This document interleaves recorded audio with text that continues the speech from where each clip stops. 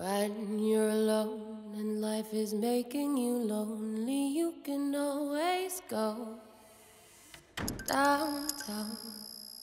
When you've got troubles, all the noise and the hurry seems to help. I know downtown.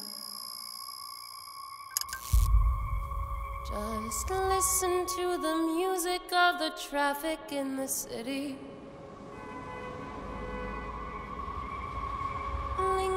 The sidewalks where the neon signs are pretty. How can you lose?